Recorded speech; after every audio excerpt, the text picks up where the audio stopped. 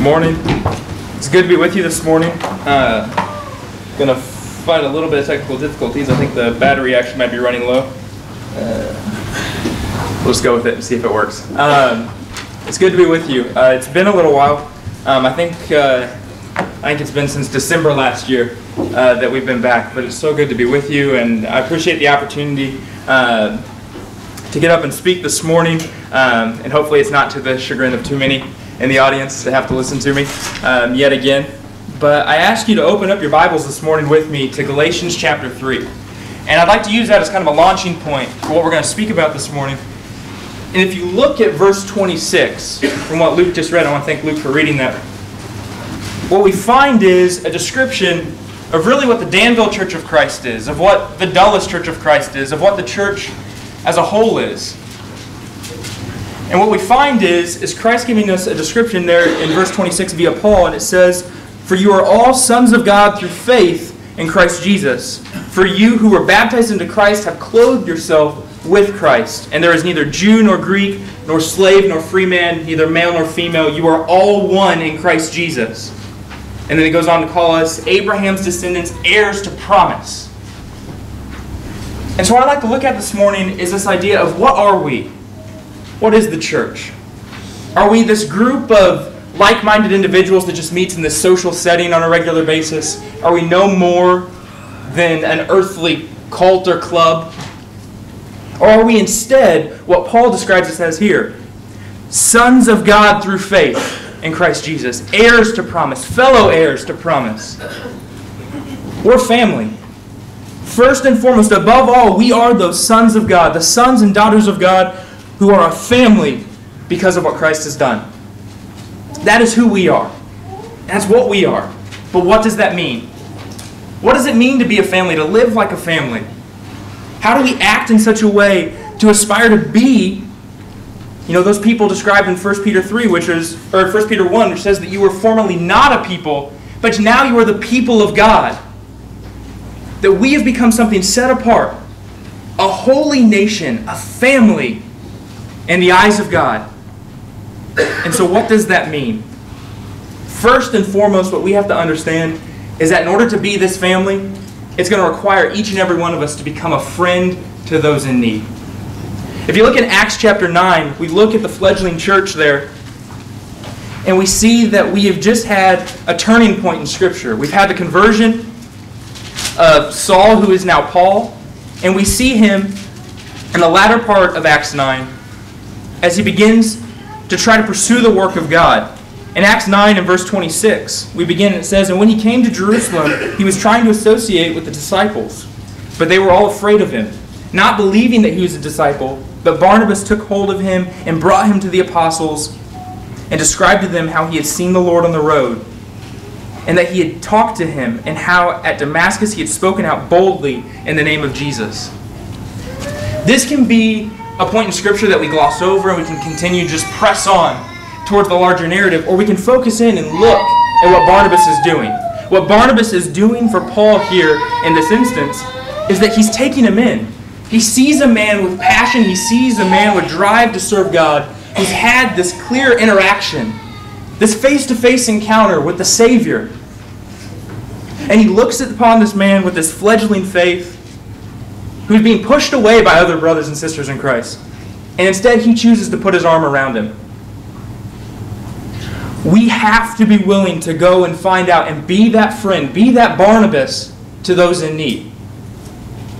So often, what we find in, as being members of the church is when people are coming in, when people from the community are coming in, maybe people that we know uh, by other means, whether it be work or just neighbors, are coming into this body of people, that are coming into this body of believers, this family, and are diligently seeking, trying to find truth, knowing that we have it, knowing that God has given us truth and understanding through Scripture, we've got to be that friend. We've got to put that arm around them and guide them to Scripture. Take that tender heart that is willing to pursue God and help continue to press them on their way the way that Barnabas did. When it's a brother or sister in the faith, someone that's already committed to the work of God. Somebody that's already pursuing heaven, and we see them begin to stumble. We see the toils of life begin to take their toll on someone. It's time to put that arm around them, and it's time to be that Barnabas. It's time to be the friend that they so desperately need, to be the brother or the sister that they so desperately need in this family. We have an obligation one to another. We are not Christians that happen to meet in a single location. We are not just a product of circumstance, but we are driven by the blood of Christ to pursue heaven in unity through faith and to act as a singular family. A singular family in this place and a singular family globally as we look at the way that the church functions together. We've been given a network, but we have to be willing to work for that, to put our efforts and our talents together and to, to shore up the faith, putting arm in arm around each other and being a friend to those in need. And Jesus describes to us what the ultimate outcome of this work will be if we choose to either go about the business of being that friend or if we choose to deny that work. If you turn over to Matthew 25, as Jesus is describing the way that our work presents itself in the end, in Matthew 25, beginning in verse 34, it says, And then the king will say to those on his right, Come, you who are blessed of my Father, inherit the kingdom prepared for you from the foundation of the world. For I was hungry, and you gave me something to eat. I was thirsty, and you gave me something to drink. I was a stranger, and you invited me in. Naked, and you clothed me. I was sick, and you visited me. I was in prison, and you came to me. And then the righteous will answer him, Lord, when did we see you hungry and feed you, or thirsty and gave you something to drink? And when did we see you a stranger and invite you in, or naked and clothe you? When did we see you sick or in prison and come to you? And the king will answer and say to them, Truly I say to you, to the extent that you did it to one of these brothers of mine, even the least of them, you did it to me. This is what Jesus is calling out to us from Scripture. That the way that we treat one another, the way that we choose to interact within the family of God and treat those brothers of His, those fellow heirs,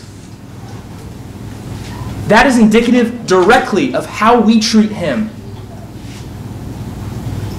we have to understand that this is not something that is just an ideal state. This ought to be the reality. That we are desperately seeking to be there for those in need. And he continues. And he says, And then he will say to those on the left, Depart from me, accursed ones, into the eternal fire, which has been prepared for the devil and his angels. For I was hungry, and you gave me nothing to eat. I was thirsty, and you gave me nothing to drink. I was a stranger and you did not invite me in, naked and you did not clothe me, sick and in prison and you did not visit me. And then they themselves will also answer, Lord, when did we see you hungry or thirsty or a stranger or naked or sick or in prison and did not take care of you? And then he will answer them, Truly I say to you, to the extent that you did not do it to one of these, to one of the least of these, you did not do it to me. And these will go away into eternal punishment, but the righteous to eternal life. We have an obligation that when we see spiritual hunger, spiritual sickness, that we go out and we seek to provide what those people need, the spiritual nourishment of the Word. That when we see a brother or sister desperately struggling through times of trial, whatever that may be, that we are there to put an arm around them and we are there to help push them on. And we're able to do that because of one simple thing we strive together towards a common goal. We can be a friend to those in need because we strive together towards a common goal. If you turn with me to Hebrews, the third chapter.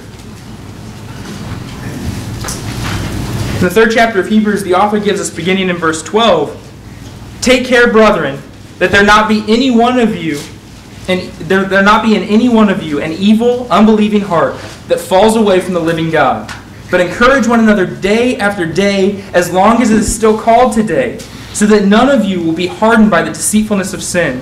For we have become partakers of Christ, if we hold fast the beginning of our assurance firm until the end. This is what we've been charged with. We are that friend because of this. Because we have a unifying bond that extends beyond any other relationship, any other binding factor that we encounter in this life. That we are pursuing something beyond this life.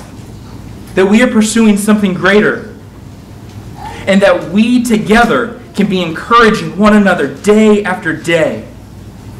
It's an interesting idea. If we reflect on our own lives, if we reflect on the way that we engage with our brothers and sisters in Christ, do we walk away from that reflection saying that, you know what, each and every day I do everything that I possibly can to make sure that I am encouraging them to continue pressing on towards heaven? That my behavior is setting a standard, that my behavior is encouraging. I'm not talking about berating somebody, I'm talking about encouraging them and lifting them up that I'm helping to push them towards heaven as best I can. And when I look around at my brothers and sisters, I understand the value of the family that God has given me because I can see them pressing me onward too. That we are working in unison towards that ultimate goal of heaven. This is what we have to be pressing towards. This is what we have to be striving for. This is why God has given us this family. You know, Paul continues this, talking about this idea. If you turn over to Ephesians, in Ephesians 4, Paul speaks there, beginning in verse 1. It says, Therefore, I, the prisoner of the Lord, implore you to walk in a manner worthy of the calling which you have been called, with all humility and gentleness, with patience, showing tolerance for one another in love, being diligent to preserve the unity of the Spirit in the bond of peace. There is one body and one Spirit, just as you were called in one hope of your calling, one Lord, one faith, one baptism one God and Father of all, who is over all and through all and in all. But to each of you, but to each of us grace was given according to the measure of Christ's gift. We have an obligation to do exactly as Paul is speaking of here, to walk in a manner worthy of that calling. Worthy of that calling. It's an interesting idea to think of, of behaving in such a way that you would be worthy of what God has done for us. Worthy of the sacrifice of Christ, worthy of the opportunity of heaven. The idea is that that is a standard that requires continual striving.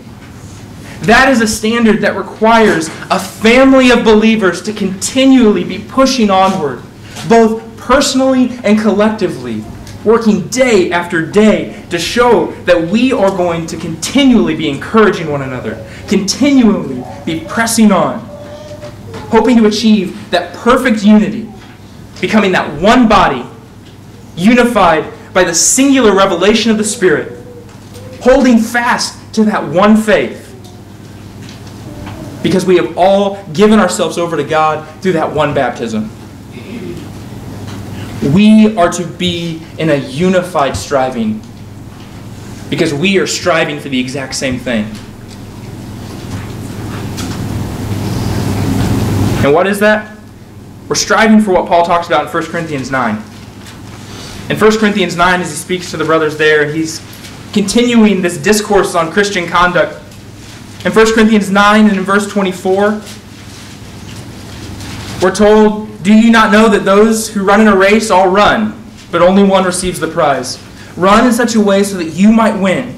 Everyone who competes in the games exercises self control in all things. They then do it to receive a perishable wreath, but we an imperishable one. Therefore, I run in such a way as not without aim. I box in such a way as not beating the air, but I discipline my body and make it my slave, so that after I have preached to others, I myself may not be disqualified. We're running after that imperishable crown. And that race requires self control. That race requires work. That race requires an intense daily training a training that we can get through if we're able to lean on one another.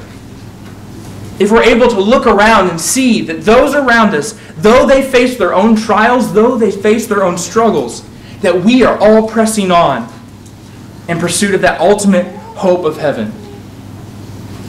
That's the beauty of this family. Is that we know that no matter what happens outside of this body, outside of the faith that no matter what, we can lean on one another because we are all looking to Christ, because we're all looking for that crown. That is why God has given us this family. It's so that we can have a friend in times of need. Friends that are continuing to strive towards a common goal.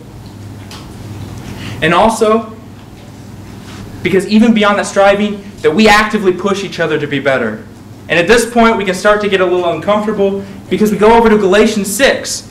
And in Galatians 6, what we find is that we have an obligation to look at one another, to look at each other's lives as, as well as our own, and to continue to look out for the spiritual interests of our brothers and sisters. In Galatians 6, in verse 1, as Paul writes there, we're told, Brethren, even if anything is caught in any tre- even if anyone is caught in any trespass, you who are spiritual, restore such a one in a spirit of gentleness, each one looking to yourself so that you too will not be tempted. Bear one another's burdens, and thereby fulfill the law of Christ. We have an obligation to look out for one another. Plain and simple. We can choose to go through our walk as Christians with others coming to us and saying, you know, I'm concerned about you, I'm concerned about these actions. We can choose to puff up our chests, to become prideful and angry, or we can understand that what we have in front of us is a brother or sister in Christ who's looking at Galatians 6, trying to come to us in a spirit of gentleness. After having looked at themselves, then looking out for one another and trying to help us get to heaven. The other side of that coin, as we sit and we look out at our brothers and sisters in Christ, first let us look at ourselves. First, let us understand that I have looked at myself and I have understood that I am diligently continuing to seek the path that Christ has laid before me. Continuing to seek heaven, and after having done that through a spirit of gentleness, I can look to a brother or sister and say that I am coming to you because I love you. I deeply care about you. And I want nothing more than to see you in heaven someday. And because of that, I'm asking you to look at this in your life. This is what we have to be willing to do. You know, I once heard it put that the best thing you can compare a church to is a hospital, and that's simply because it's for people that are sick.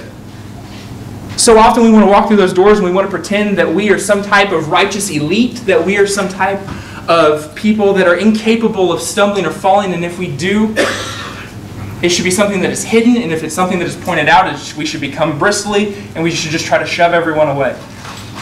We have been given a place where we can come and we can confess our sins because we understand that we are all human and fall short of the glory of God, what Romans 3 and 23 talks about. And because we understand that the wages of sin, that wages of sin is death, as Romans 6:23 talks about, we understand that we have a dire need to come to this place and to say, I am struggling, someone help me. I am struggling, someone take me to Scripture and show me, show me how to get through this. That's why we're here. And we have to be willing to both give and receive correction from our Christian family. We have to be willing to do this. There is no room for pride in a family, but there can be room for gentle and caring correction because we desperately need it. Paul continues to talk about this. If you turn over to 2 Timothy, as he speaks to the young preacher there, in, in chapter 2, he begins in verse 24 saying, The Lord's bondservant must not be quarrelsome, but be kind to all, able to teach, patient when wronged, with gentleness correcting those who are in opposition. If perhaps God may grant them repentance leading to the knowledge of truth, and they may come to their senses and escape from the snare of the devil, having been held captive by him to do his will. We have an obligation as bondservants of God we're not here to fight. We're not here to quarrel. We're not here to puff up our chests and boast pridefully when wrong.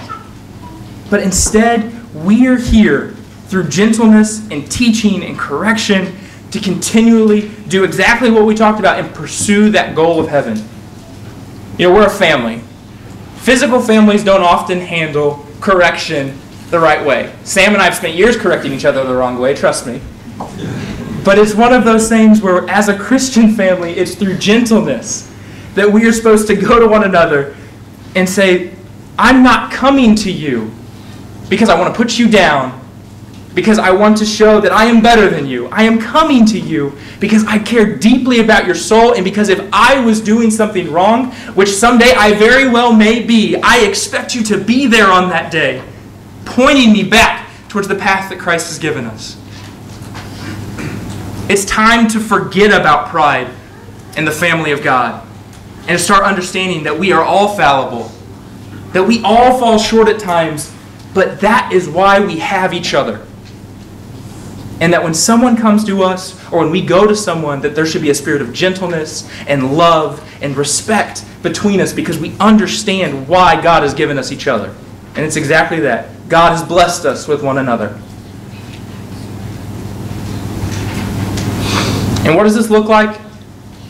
We're given an example in the book of Acts in chapter 18, exactly what this looks like when it's carried out the way that God intends.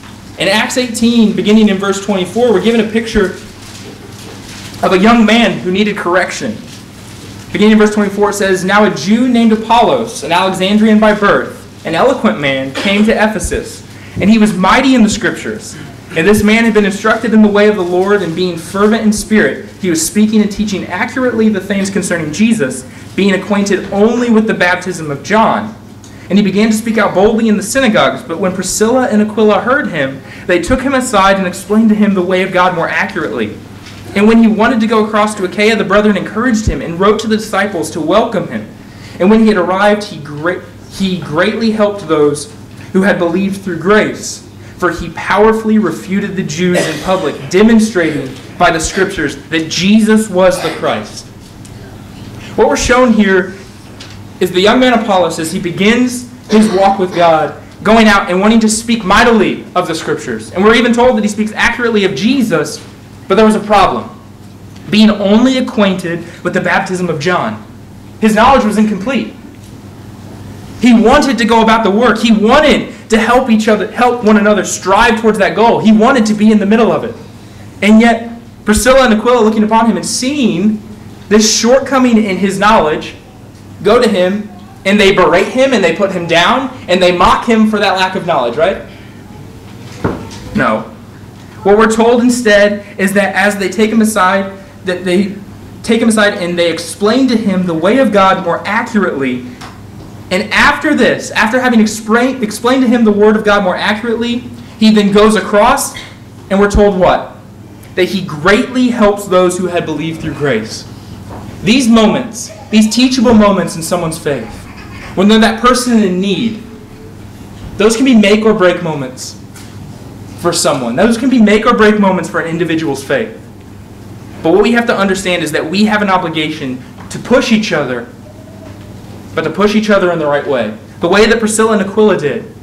Understanding the benefit that he could be and putting that arm around him.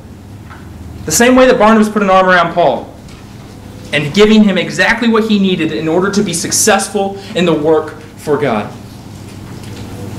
This is what we ought to be. We're supposed to be a Christian family. We're not a club. We don't just happen to be people of a like minded understanding of the world. We don't happen to just share the same worldview. But we are people that have been unified through the blood of Christ. We are people that have been driven to pursue God because we opened up our hearts and looked to Scripture and we understood what God has given us, believing in that. Believing that Jesus was the Son of God who came to this world and died on that cross for our sins. Believing that we were willing to confess in front of others that Jesus was that Christ. Understanding that we had sin in our lives, we were willing to say that, you know what, I want to repent of those sins. And repenting of those sins, we went down into those waters of baptism and we came out of them a new person.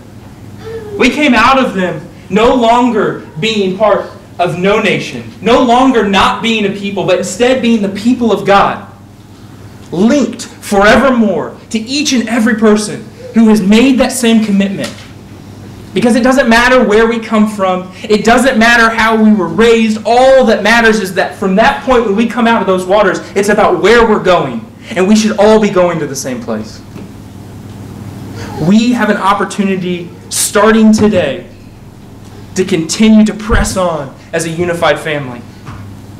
The family here at Danville, the family in other places, and the unified family that spreads this globe that gives us a connection to individuals that we would never have otherwise. But God understands that we need each other.